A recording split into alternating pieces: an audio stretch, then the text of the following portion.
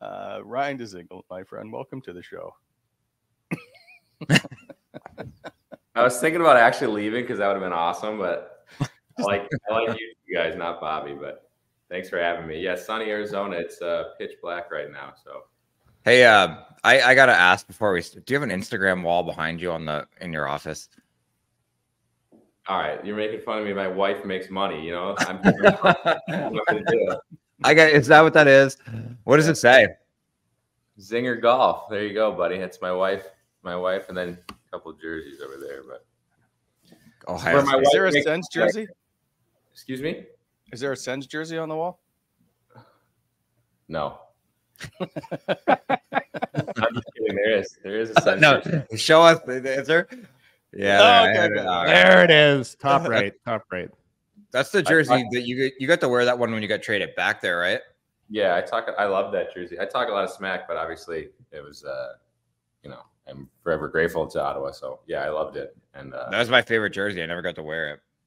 yeah, that was actually when I wore number ten, so it was kind of weird, but uh yeah, I love that logo and I love that jersey. Yeah, I miss the black and the red one that the boys get to wear now too. I didn't get any of the good ones. I mean, it doesn't matter what you wear; it's not going to look great, you know. So don't worry about it. Start with me right now, six o'clock in the morning. Uh, you know what? You've Zinger, been awake. As- gonna uh, We've been awake the same amount of time, Ryan. I don't. I don't have it in me either. I, I'm going to test how ornery you might be today.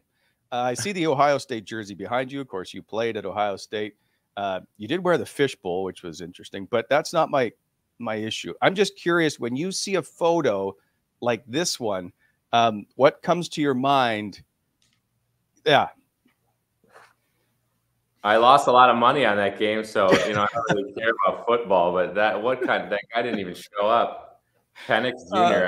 I, I thought that guy was a stud, and he let me down. So I knew they were going to win. I just just needed them to cover five and a half. You know. Oh man. it's a tough one. Uh, does it? How Oh, yeah, tough is it to see Michigan as national champions? Yeah, Ohio State was uh, my most fun time I've ever had in hockey, and, and I made you know so many friends to this day. And uh, just remember, like showing you that photo, just some of the stupid things we did on the ice. Like, that was against Michigan State, and I um, one of my old teammates was on Michigan State at the time, and that was a hat trick, and I was like throwing my hat at their bench, like just being an idiot because you could you could just do whatever you want. So the photo before that, I that was I scored and I went by their bench and like threw my hat into their bench. So that was just being an absolute idiot, and you had no consequences. You, you don't have to answer for anything in college Yeah. hockey. Exactly. So that's why you wear that fishbowl. There's no consequences. So yeah, It's, okay, so, so you you threw the hat right in their bench. yeah, I scored. I took a slap shot. I, I literally remember this. Like I don't have a great memory, like I told you guys before, with a lot of goals that happened in hockey. But I was coming down the left side, took a slap shot, went far right, and I turned around and like right to Michigan State's bench. It was at Ohio State, and literally right to their bench. I just like like Here faked go, their boys. hat. and then yeah, and then you get in like a little scrum, but there's nothing in college. So yeah, I threw threw my hat at their bench. Oh, that's beautiful. So good. Mackenzie Um, Mackenzie MacEachern told me that story uh, last year. He's on St. Louis Blues now, and he remembers ripping my chain off in a scrum.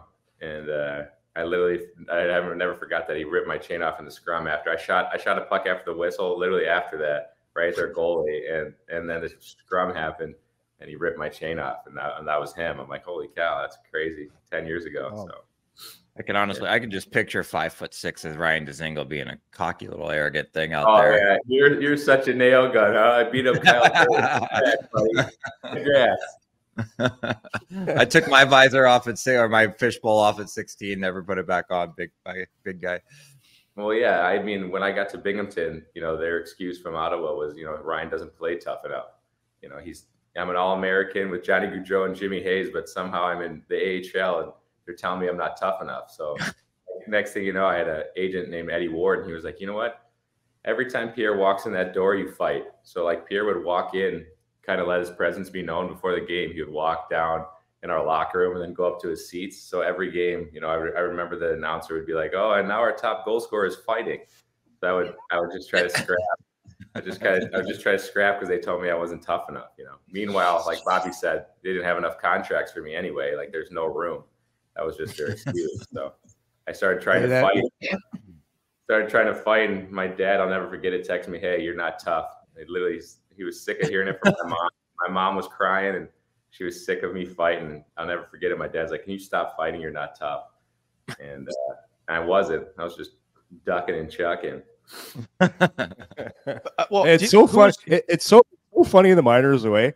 Everybody knows when the GM shows up, eh? Like it's and then, then it goes right through the room and the like, guys start going. So as soon as you knew you you you just fought. Yeah, I mean, So- we had a lot of tough guys. Like we had some, we had Mark Fraser. We had some very tough guys. That was when like all the guys from the NHL started trickling down to the AHL, and Mhm. uh, so yeah, I would just try to find a guy decent my size and then just grab him whenever I could. So yeah, I, I remember just yeah, like I didn't know what I was So you're- doing. So No you're just idea. going through the lineup, going through their lineup. You're hand picking your guy right before the game. Hey, I get this guy. well, then it kind of got down to like people like thought that I was willing. So then I would get like the sneak, like not the not the like tough guys, but the middle tier guys that are my size but can are actually tougher than me. So then I was getting beat up a little bit, but eventually got So- up there. So What? Who? Do you know who your first AHL fight was? first, oh man, I do not. I'm trying to think. I know, I know some of them. Like I know, Yeah. I know which guys I fought, but I couldn't tell you my first one. Okay. No, Uh, I, I remember- was curious. Yeah, I remember me holding my hands like super weird all the time. Like there's videos and clips. I have no. I look like I have no idea what I'm doing. Like I'm holding my hands like that. I'm squaring off. Like I'm not just grabbing guys. I'm squaring off, taking my helmet off. Like I had no idea what I was doing. Uh, in when you went to Arizona, your first couple of games you played Columbus, you were fighting guys like Cam Atkinson. I think is one. If I maybe not. Uh, no, Uh, I fought Kuraly. I fought Kuraly, and then I fought uh, another guy. But yeah, he. and I was thinking, why? Would you just played with them? Was there? Were you upset with them, or were you just? Oh, Kuraly, Kuraly hit uh Kuraly hit Clayton Keller a little weird. Obviously, he's our best player, and he's one of my good buddies. So I just threw an uppercut from deep down south and tried to put him in a coma, but I missed him and I just fell over. swung this thing. If you see the video, I swung this thing, missed him by a good foot, and then we both fell down. Banana peel. Well, I, I remember like literally grabbing him, and you could see in the video, and I'm like, "Hey, you're gonna have to fight somebody," because I thought the hit was worse than it really was. It wasn't that bad, but he kind of clipped him when he was coming across the middle. And I'm like, "Hey, you're gonna have to fight someone," and you're pre- like, like I'm a pretty good customer. Like he, I, I would take me over a lot of other guys on the bench. And he's like, "Yeah, you're right." that's amazing. That's amazing. That's how you. That's how you get any fight you want, eh? Hey, I'm not that tough, man. You got me. Go you're ahead." pretty. You got a pretty good chance here. Yes. well, Trevor Gillies told that to one of our fighters. I think I told you guys that story. He told us that one of our fighters is like, "Man, you look good. I think you got a good chance. You know, I like I like your lefts. You're telling some other guy that he's got a chance on you. That's nuts." But Trevor everyone, Gill. I, I, everyone that knows guy, that a chance with me. So. Trevor Gill is Uh, one of my favorite people, man. That guy was crazy. Absolutely na- nails. What do you? You're playing a lot of golf. Who do you play golf with now? This guy. You, I love how you guys set him up. Like you know, it's like these, these the people who are watching this show have no idea how you set him up. Like you're just trying to bait me into answering some of this stuff. So I'm, I'm playing with my boy Phil Kessel yesterday, and uh, that's all I'm going to tell you. I, I, Well, I how- played- Well, played really you sh- what did you shoot? he- they're going to call me sand. If I tell you guys, everyone's going to call me a sandbagger. I'm a five handicap. I went 73 78. We played Whisper Rock and Arizona Country Club, and I made eight birdies in two days. And everyone's going to call me a sandbagger now. That's that. I didn't know. You, I didn't know you learned how to putt. But I will slap you. You're one of the worst golfers I've ever seen. Like you're ugly to watch. You got nine country clubs and you still stink. I have a terrible swing. My swing is Oh, terrible. Yeah, but but I beat it around, and I I never said you wouldn't slap me. I said you're a sandbagger. Why would I play a sandbagger? It's good. Does me no good. Give you a donation. I need a little donation. But anyway, Phil, yeah, Phil. I've been training with Phil, and and it's just shocking to me that he hasn't got a deal. And uh, the guy, the dude's actually in shape. All we do is argue. All we do is argue, work out, play golf, skate, wrestle. Like I've, I've been messing with this guy as much as I can because he's he's hilarious. But it's shocking that the guy doesn't have a deal. Forty points on twelve minutes on a Stanley Cup team and Ironman streak, and then doesn't get a deal. Yeah. So Yeah, it's a little. it's It's absolutely baffling, especially with a guy's name like that. Like, why wouldn't a team Yeah. like the Ducks just sign the guy? You know, they have a they have a bunch of distractions. You know, bring him in with a big name like that. Anyone, even Ottawa. I mean, it's crazy. I, I don't know. I mean, the league is changing so much, and you know, I feel like the GMs and coaches want to control everything, and he's a guy that. You know, he's got a big name and a you know big personality, and who knows? I'm just I'm speculating, but it's actually crazy. I don't know what your thoughts or guys are on that, but I thought he was. I thought he was Dunzinger. So he he's actually out there. Oh yeah, we play. train Wow. train five days a week. We train five. He's probably like literally we're running. Yeah, two days ago we were running and do we do cardio like four or five times a week. We he skates every every day we have a chance. We're literally skating with U eighteen teams, U sixteen teams. And for me, I'm you know who knows. I I didn't want to go to Europe and I'm probably done. But for him, forty points last year know, on a Yeah. Stanley Cup winning team on twelve minutes and an Ironman streak and if you watch his look at his hockey DB like, like DB like Bobby's, it's it's just insane to look at. It just looks like it looks like figures from a you know like a video game. It's just crazy. So I, Yeah, it's kind of baffling to me that he doesn't. Yeah, that he hasn't popped any, anywhere, especially now that the, you're kind of at the halfway point of the season, um, and you know what you're going to be. Like, why wouldn't somebody throw a million bucks at him or whatever league minimum is? It he's probably Yeah. a, he's probably a veteran league minimum, eh, Yorkie? So he'd be a million, I think, right? Yeah, yeah, yeah, yeah, yeah. Bob, do you know? Do you know Kess?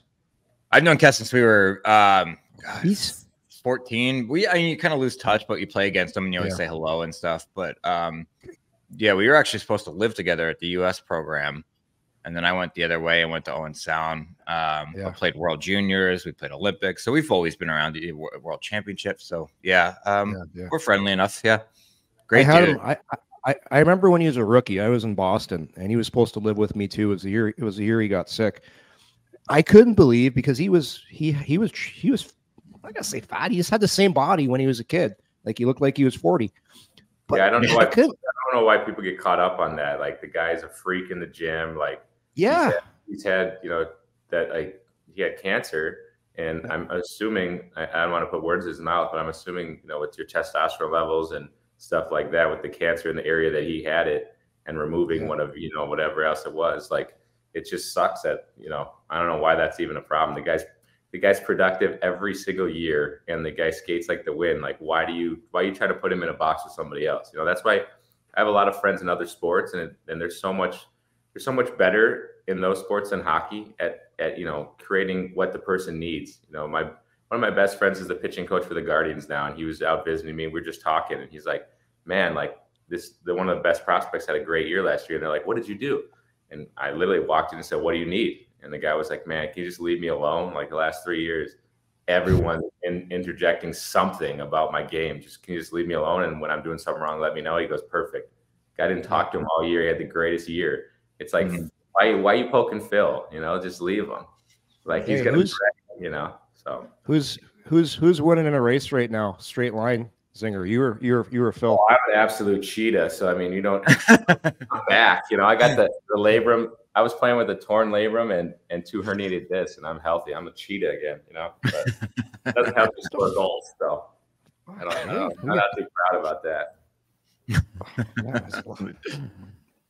Uh, other questions I have for you. Uh, one is uh, you played golf with Rob Riggle. Uh, so I'm curious, uh, what's the biggest celebrity you have met? Hmm. I mean, like extended period of time, he's probably up there. Like we did a TV show slash like little series clip with my. It was my wife, not me. They they could care less that I was there, but it was with my wife and PXG. And yeah, this that dude's. Uh, you know, he's obviously a high high end actor and stuff. So. Uh, he was it was crazy. He was like a he was a military guy. I think he was a marine. Like his background was crazy, and then he just like he's talking like a normal human. Then he gets on camera and he's just screaming like, "Shot him! He shot him in the penis!" Like just starts screaming, and we're like, and I'm like, what? Like that doesn't even you know it doesn't even make sense how good. I mean, obviously he's an actor, so it's good, but uh, I mean, yeah, I'm I hang out with more athletes. You know, like that's where I've always I've always tried to hang out with guys like that. Guys are similar to me. So yeah, he's probably the the biggest actor that I've ever been around for sure. He's an interesting guy. I've I've he spent a lot of time in Idaho at my my place that I used to live there, um, and was starting to come up a lot when I was kind of moving on from the area.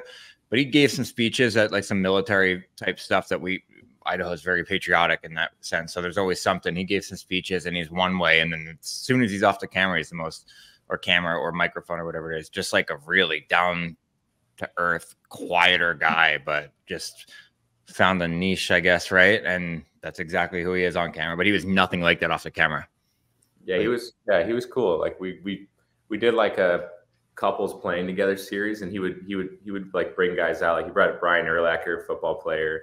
He brought a couple Marines. He did a couple other things, and we just got to play a couple holes with them. And and uh, you see how good they are. Like even my wife, like there was like golf carts everywhere, right, with cameras everywhere, and I like didn't even like what I don't know what to do with my hands, like from that one movie. Like I'm like sitting over here. I was so awkward. Like if you watch the clips, like but you probably wouldn't know, but Bobby could tell because I've been around it for so long. I was just so awkward. Like these guys are so good. It's one take and like he just makes things up on his head and it, like they have a script and then he just makes it up. I'm assuming he has it queued up, but yeah, these guys were awesome. I mean, it was it was a cool experience. We went to Scottsdale National, which is like Sweet. a million bucks to get in. Like the course is nuts, and uh, so the course was awesome, and he was awesome, and and yeah, so it was it was a cool cool day.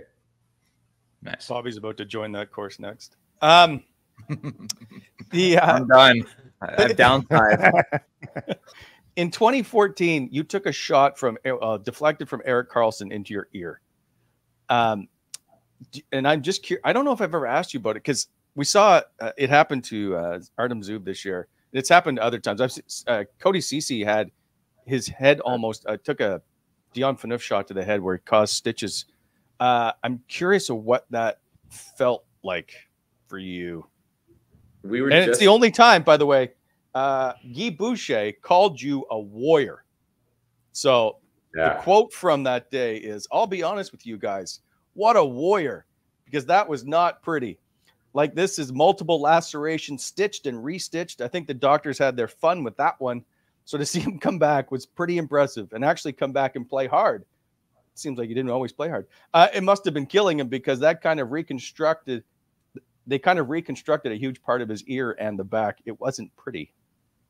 Yeah, like I was, it's crazy you brought that up. I was just talking about that with a couple baseball players. We went out, you know, had a drink last night and they were talking to me like, "What's the craziest thing that happened to you?" And I took that video and showed them, and uh, I think I, you know, I, I, got the whole front side stitched up, the whole back side, and then they had to reattach it.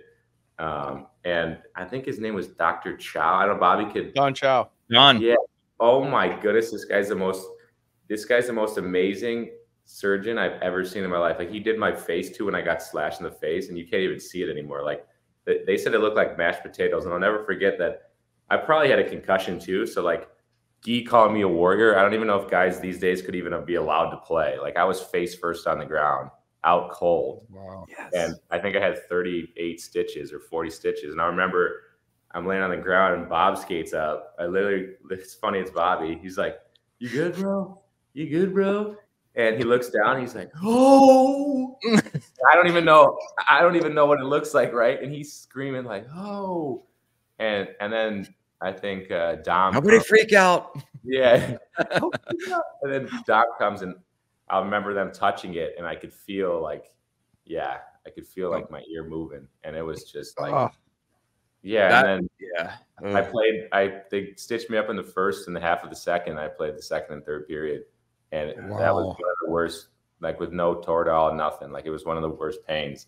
Every because like you don't like I don't wear an earpiece like nobody does usually, but then they put one on. So every time I was skating or got hit, it was just rub against my ear. Yeah. Oh, Plus the wind too. The wind when you're skating, like that was always oh, when I get stitched awful. up here. Oh, it was brutal, wasn't it? Yeah. But I remember. Really I actually remember seeing that. That that one, and then the Boro off ice injury was one of the worst I had ever oh. seen. Were you on the team then? Zings? Yeah. No, I don't think. With so. Actually, it was when he hurt his ankle or whatever. I wasn't playing or something with Robin, me and Robin Lehner were there, and JG Pageau, and like he hit an electrical outlet and sliced his leg, and it was just. Oh. I remember mm. watching like I just, you know, Boro too, but that aside, when you flipped over and I saw your ear, I was like, oh, okay, we're we're. I was like, we're in it. Things like, hey, we, what are we doing? You guys want to go to dinner? I'm like, no, I can't. You're scare the hell out of my two year old hanging out with you. Yeah, I wish I wish I had the pictures for him before because it said it looked like mashed potatoes, and then he literally made it look like yeah. there's a video on YouTube of how with the stitch when it's stitched up, it looks completely normal. It just looks like a stitched up ear. And yeah, that that was like a like solid amount of pain too. You know, usually when you get hit or something happens, like I feel like you don't remember it or you know, you know, it's not that much pain. Like all my other injuries weren't that bad. That one was just painful, you know.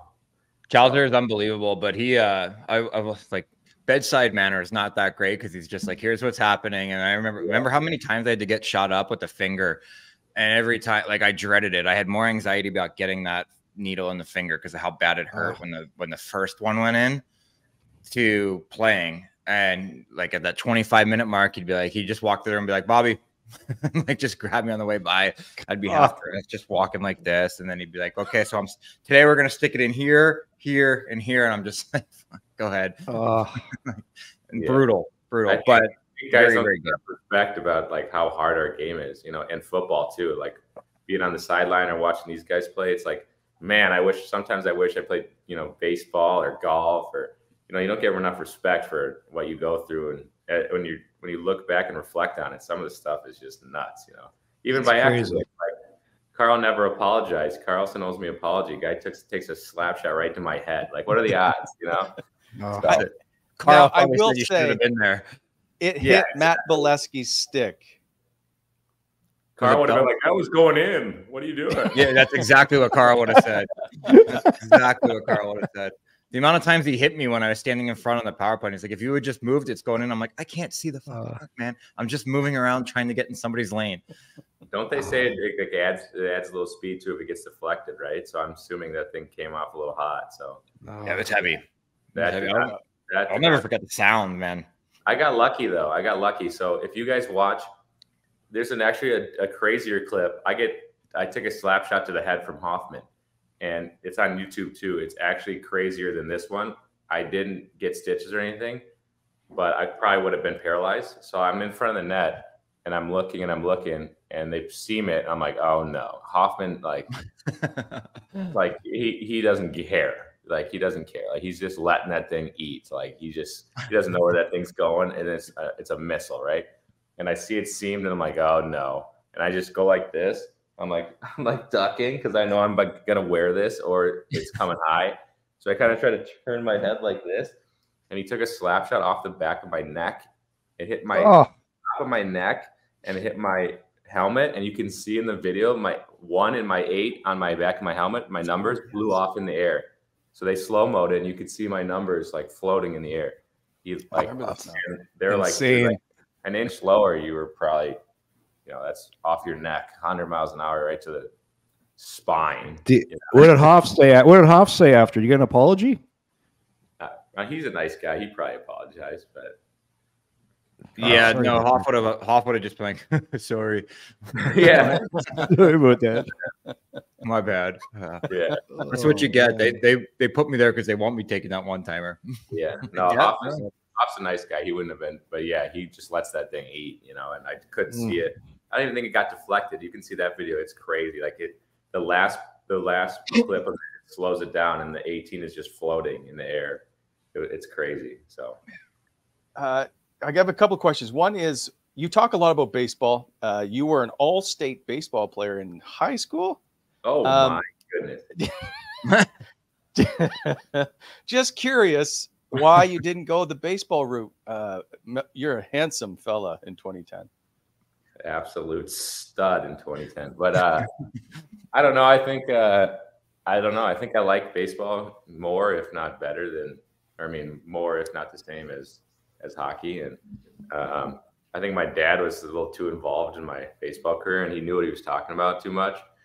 And he was he was a really good baseball player. He was a stud. And he went to Louisiana Tech, and I think he just was too involved and I was trying to get away from this guy and do my own thing. So I think I chose hockey. I mean, he was always he was always my coach and he was always hard on me. But obviously that's the reason I got here where I'm at now. But you know, I think I was just trying to get away from him and do my own thing. You know, I'd go three for four. He'd be my first base coach. He'd be talking under his breath. Oh, what a terrible swing. And I'll never forget. I we we ran it like because we had a coach that was from the MLB. Like it, it was crazy how it worked out. It was in high school and he was a Christian dude, and he just like he said, I felt calling to come back to the school, and he was so high end for our school, it like made no sense. Like to this day, it was one of my best coaches ever, Willie Bosk, and he ran everything like it was like we were in the MLB. Like when you get out at first base, you put your helmet and your stuff or your gloves and your whatever in your helmet and give it to the first base coach, and somebody runs your glove out. It's just like little things, right?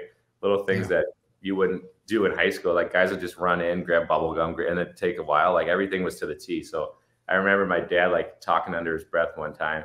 I betted six ten in high school. I think I literally betted six ten. Like I was, I was one of the like I was. It was insane, and he would be mad at me. I'd be three for four, and I'd roll over, and he'd be talking under his breath. And he was at first base, and I'll never forget it. I put my helmet, my gloves, in my helmet, or I put my uh, gloves into my helmet and went to hand it. He reached for it as he was, you know, he's talking to me under his breath, saying something. I just threw it at his feet. he was so mad, like because he went to reach for it, and I just chucked at his feet. He was so mad, and his best friend was our head coach too, Willie. He was so mad, but they couldn't say anything. Right, this is mid game, and I thought I could get away with it. They were so mad. They they made me run pull the poles uh, after the after the game, and they forgot about me. I ran pull the poles for two and a half hours, just two and a half hours, because that's the field. And they literally, to this day, they said, "Oh, we forgot." I ran for till it got dark, like two and a half hours, and just running. And uh, it was still worth it to this day. That just the feeling to just give him that one. Just I love it. For all the car rides for two hours, I had to listen to his BS you know, about how oh. you know. Uh, my little cousin, when my little cousin goes in the car rides now, I go to all his hockey games and with his with his dad, and I just go, "Can you shut up?" I just look over it. Just he just he doesn't want to hear it. Just just shut up, right? like I know what he's going through. I don't know how to be a dad yet because I've been a dad for only nine months, but I know how to be a son. I'm like, can you shut up? like, you don't know anything, you know. As I try to get him going because I'm, you know, all the all the car rides with my dad. Oh, mm-hmm. Zinger, how were how were the hockey car rides? It was only oh. baseball.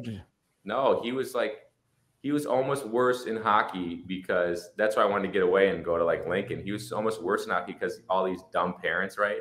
All these hockey parents are nuts. So he probably just fed off that. He doesn't know anything. So he's learning about hockey and trying to do what's right for me, right? He was trying to help me out what's right, yeah. but he's probably getting taught the wrong thing. You know, that's, a, that's what happens a lot with people. It sucks. They don't, they don't have the right opportunities or don't have the information correctly. And, you know, he was probably trying to do right by me, but oh man, these hockey parents sucked, and they always thought they knew it, and and yeah, we'd always be getting in scraps on the way home. Like he said, his best speech ever. He was giving me a speech for like three hours. We drove to Wisconsin and home, and he goes, "I look back, this guy's out snoring completely." I go, "You think I was sleeping?"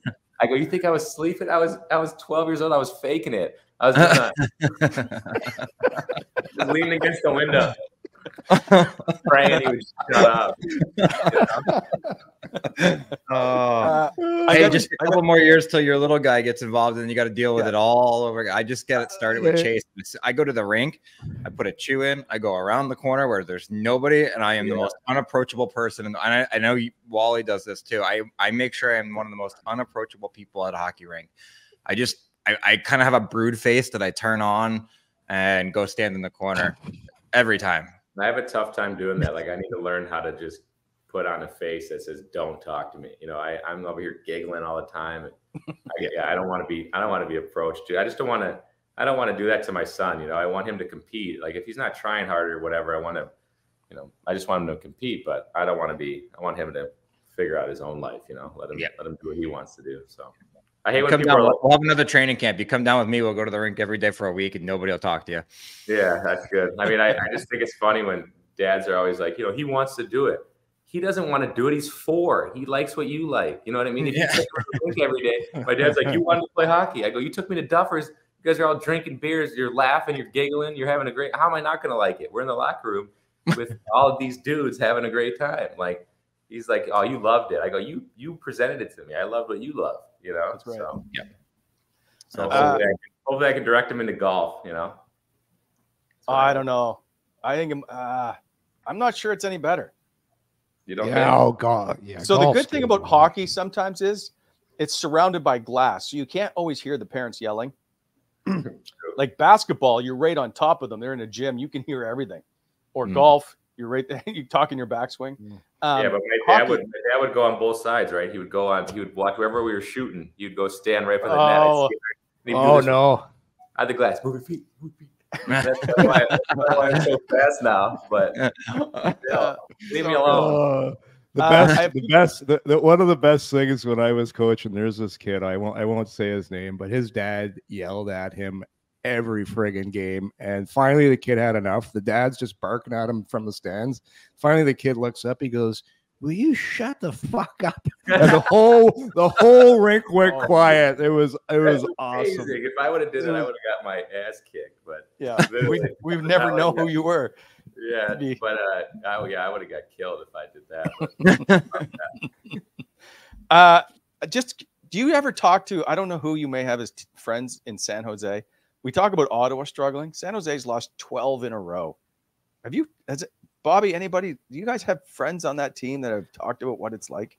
That's tough. Uh, no, but yeah, that situation was so weird for me, right? Like I've had so like looking back at hockey, like reflecting, I've had some weird situations. Like I like I told you guys earlier, I, I get picked up by them and it's at the deadline, right? And Yeah. it is like whatever, eight to ten teams that put a claim in, they're all going to playoffs and San Jose's not, right? And I get picked up by San Jose and I'm like, what like why? You know? And I play four games or five games on the first line with Couture, play good, 20 minutes and then they waive me. I'm like, why? Did, and then I can't go to somewhere else because the deadline's passed. I go, they didn't, you know, their GM was sick at the time, and I think it was just I don't know what they were doing. Like I, I, I don't know.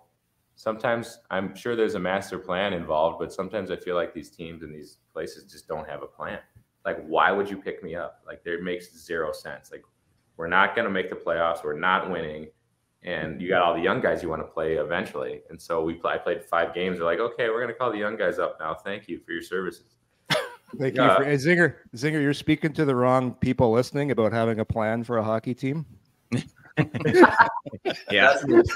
Trust me, I know. My dad's been saying, "Oh, the Sens are coming up." I said, "Okay, Bobby and my dad, settle down, guys. You'll see."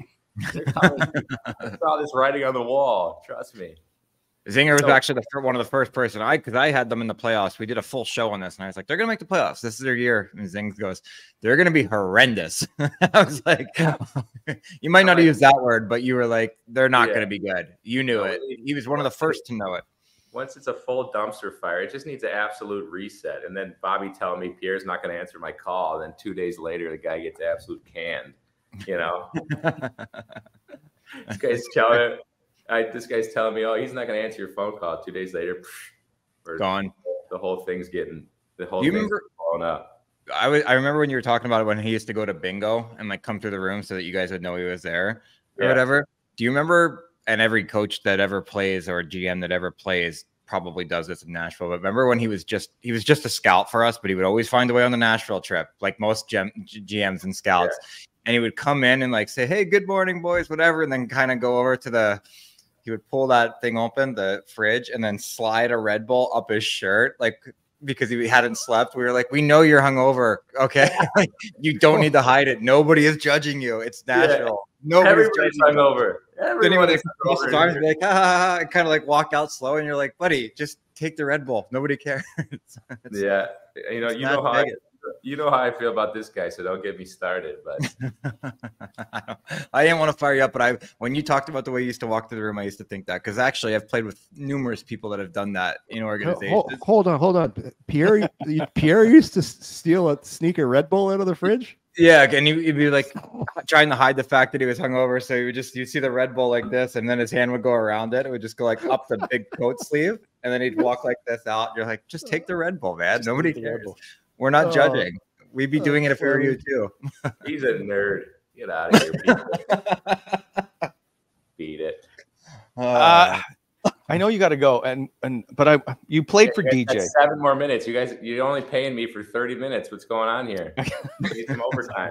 Bobby Bobby will buy you a golf membership wherever you want. Um, Yeah, he's been, yeah, he's been saying he's going to send me wine for three years. I have nothing. Cricket. hey, I'm not allowed to have it in the house. It's taking it's a big endeavor to go all the way up there to get it now. That's why you send it to me. I'll hold it for you. yeah, Yeah, don't you try. Yeah, okay, yeah. um, This week I'm sending one. I promise. All right. We'll So- see about that. your your thoughts on DJ Smith when I know you didn't play a lot when you got here uh, for him, but um, what did you think when you got here? Yeah, compared to uh, the other systems you may have played. Yeah, that. See, I don't. I, I just don't want to. I I try to now. I try to be more. You know. Um, intentional with what I say and I try to, yep. you know, think about what I'm saying. And like that whole situation was weird for me. Like I told you about Pierre, like one day I want to know if this guy just traded me back to, you know, to screw me. But so I got there and I had the 16, 16 day quarantine and then everything was spiraling. I told you I scored seven goals in seven games or whatever. And DJ was always good to me. Like, like he was, he was always goofing around with me. He'd always grab a coffee in the back and I was at like the end stall and you'd walk in and he'd be like, "Hey, Zinger, best nine minutes of your life tonight," and like it was kind of funny, but I wasn't that boys with him at the same time. So I was like, "Yeah," like he was trying to be good to me and nice and funny, but at the same time, I'm like, dude, I'm at the midpoint of my career here, and like I have seven goals in seven games, and I'm not getting to play. Like you're kind of pissing me off, but kind of being funny at the same time. So no, he was always a good guy, and and you can tell I like guys that played right. Like he just you you gotta he mm-hmm. didn't get all the way up to the you know he didn't have the greatest career but man the guy was a killer. And like so i respected him. Um, but i was just shocked how long he like i saw like the stat about him and the you know other coaches that had the longest tenure or whatever with the team. And it's yep. crazy. What did he have six years or five? Five years. Yeah so there was like, like seven guys and all the other ones had been playoffs or cup winners all that stuff. Yeah. Yeah. So like like it's just crazy. I mean i i think I was talking about coming back and coaching one day, and I'm like, man, all you got to do is get into a team where they're absolutely tanking. Like, look at look at the uh, look at Bear in in in the Coyotes. Like his his record is insanely bad, but they don't have anything. You don't have anything to play for, right? They're just kind of giving you this three year window, and then mm-hmm. kind of after that, you're kind of screwed. You might not get another job because they look and say, "Well, this guy stinks," but you get literally three to five years of free coaching. Like mm-hmm. I don't know mm-hmm. what Bear's doing out there. Like he just gets to keep going like every year, and they're not trying to win. So uh, it's just I don't know. I think sometimes you get to a situation, and who knows? He could have been a, the best coach ever if he was in the right situation. Didn't have this team, but yeah, you got. If you look at it either way, either he he got five years and got paid, or now you know you look him as a head coach and say, oh, he's not great. But at the same time, there's a lot of other things around him that were the problem. You know. But I will point out Arizona just one point out of a playoff spot at the moment. They stink. Watch this one. you, you want to talk about? I, I, live here. I don't want to get shot, but yeah, no, no. That's, that's last question I have for you. Um, you uh, back in the day when uh, when Alfie was part of the organization as a senior advisor, you used to go to him and have on ice sessions. Do you think he makes a good assistant coach? Oh yeah, like so. I don't think he really had like working with me. He was working with Zibanejad a lot too, and I think the Swedish connection. Like, and I was best buddies with Zibanejad, so it was nice. I get to just kind of listen to these guys and kind of go out there with them. And I didn't get to do that many sessions with him, but man, he he's just it's like Bobby. Like you just pick his brain, and they've they're at such a high level and played at such a high level, they see everything like better than everybody else. Like when I told you Guy Boucher making me lay down on the ice about where to shoot a hockey puck, it's like, buddy, you didn't score 10 in, in AAA. Like, I'm not going to listen to you. like Alfie, just these guys being able to pick pick his brain and it's it's all dependent on the guys. Like if they want to go get information from him, he's just gonna he's just so much information. So man, I, that's the type of in the MLB, that's what they do, right? They get guys that played and they put them in the situation like Barry Bonds is the hitting coach. Why? Because guy's the greatest hitter ever. Like there's there's no shock on that. Like why wouldn't Bobby be an offensive skill coach? Like in Ottawa, you got an offensive guy that or the coach is an offensive guy, or in Carolina sometimes there was an offensive guy that was a D guy, and I'm like, what are we what are we doing here? Like how simple is that to just you know get a guy that was in that role? You know what I mean? And yep. I, I feel like they they think that they can learn more things than actually know by playing. Like if you put Bobby Ryan into a situation with guys that want to score on the power play, their power play is going to go up. Like as long as they want to listen, like he knows what he's doing. You put Phil Kessel with young guys that want to listen, they're they're going to be better. So yeah, like Alfie is on Alfie, Alfie. I could see him being the head coach if he wants to and killing it one day. You know, it's it all depends on what Alfie wants, right? I think he's one of those guys. Same with Justin Williams in Carolina. It's like, what do you want? You know, those guys yeah. have been around for so long and and do things so well. It's like wherever you want it to take it and where you want it to go, it's going to go there. So, yeah, that's a blessing that they have Alfie now. And it's going to help all those goal scorers a ton. You know. Uh, yes. Well, let's hope they can get this thing turned around. Um, I was going to ask you about which engagement photo shoot was better, yours or Bobby's, but I'm going to save that for another time. Uh, but uh, it's Can you good to see believe? Can you believe he fooled another lady? Like this is like what is going on? Oh my gosh! That's it, it benefits you to be wealthy because I've been telling him he's ugly and he's just fooling people. Every I just makes no sense. That's Makes it. no sense to me. All right, you're out. You're not We making the the already. Now I'm like warming up. Now I'm like now it's almost eight o'clock and now I feel good. Like you kidding me? You know you're Beat it. now. Beat it. You, you, Just you keep told me only a half hour. That's it. See you, pal. I appreciate it. See you boys. Thank Thanks, you. Zinger.